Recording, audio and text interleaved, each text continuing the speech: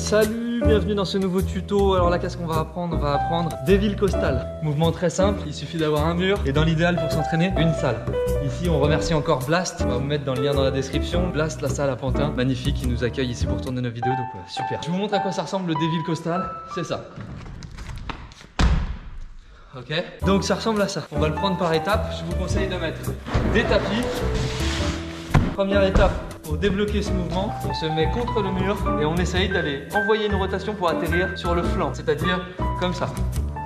C'est la première étape, on se libère du mur et on arrive sur le flanc. On fait donc un quart de rotation. Ensuite, on revient sur le mur et on donne un petit peu plus de force. On envoie un petit peu plus la jambe, histoire de monter plus haut et on atterrit sur le dos. Ok Ensuite, on recommence en donnant encore une fois un petit peu plus de force et ainsi on peut atterrir le côté, le flanc de l'autre côté. Ensuite, on n'a plus qu'à tout donner, c'est-à-dire miser sur la hauteur en poussant à fond avec le pied droit, miser sur la vitesse de rotation en envoyant à fond la jambe gauche vers là-bas, rester un maximum de temps les mains sur le, le module, histoire de faire en sorte que l'épaule passe au-dessus et donc que la rotation se fasse ici. Et ça donne ça. Voilà, c'est assez simple. Euh, je vois pas d'autres étapes, vous avez plus qu'à vous entraîner à fond. Le matelas c'est très pratique parce que ça permet vraiment de débloquer le mouvement et c'est vraiment un mouvement assez évident à faire.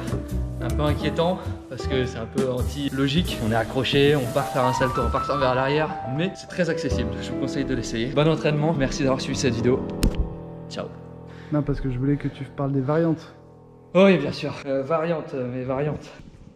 Bah variante. Des petits mouvements qui s'en rapprochent beaucoup. Au lieu de partir en costal, on part en front. C'est-à-dire des villes front, on se met face et on va pousser fort avec les jambes, faire monter les fesses derrière, garder les bras jusqu'à ce que les épaules soient au-dessus de la barre et ainsi lâcher pour engranger la rotation et ça donne... Ça donne comment Arnaud? Ça donne bien. C'est bien. Oui. Je remets le bonnet. Donc voilà, pour le faire en front, c'est un peu le même principe que pour le costal, sauf qu'au lieu d'aller ouvrir vers l'extérieur en envoyant le bras qui va sur le côté pour ouvrir le corps vers l'extérieur, on garde les deux mains sur le module et on va en fait les lâcher simultanément. Une fois qu'on monte, une fois qu'on est assez monté ici, que le corps il est comme ça, il envoie la rotation. Et en fait c'est très simple. Mais ça, pour le coup, je vous le conseille de le faire après le dévil costal, parce que le costal on peut faire euh, l'atterrissage plat dos. Le dévil front en plat dos, ça se rapproche très proche de la nuque, donc c'est plus complexe. Je vous conseille d'abord de commencer par le dévil costal avant de vous mettre à faire le dévil front.